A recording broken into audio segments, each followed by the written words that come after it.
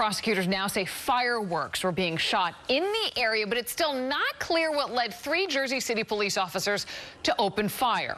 This all happened while the officers were on patrol at a housing complex. The two men shot remain in the hospital. New Jersey reporter Tony Yates is live in Jersey City with the latest. Tony.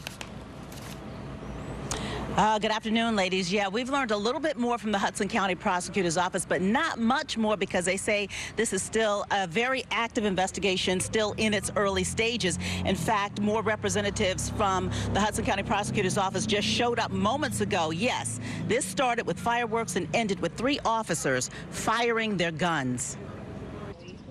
12 hours after the shooting, investigators are going over this area very meticulously. This is just beyond Randolph Avenue and McDougal Street. They're looking through grass. They've marked bullet holes in houses.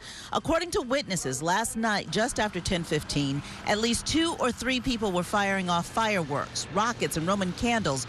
The noise apparently prompted someone to call 911 and police arrived. Things went south. We don't know the intricate details yet, but witnesses say police began firing. Two people were hit a 21 year old man who was still at Jersey City Medical Center and a 19 year old who was released this morning. He nor the people he was with spoke to Eyewitness News as they were getting into a car.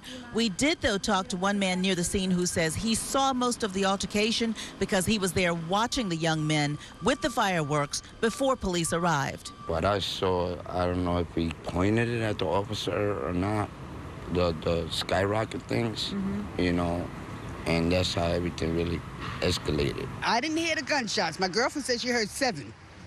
She said she heard seven shots. The prosecutor's office confirms that three Jersey City police officers were patrolling the area. They were assigned to the housing patrol unit, and all three discharged their guns during this incident.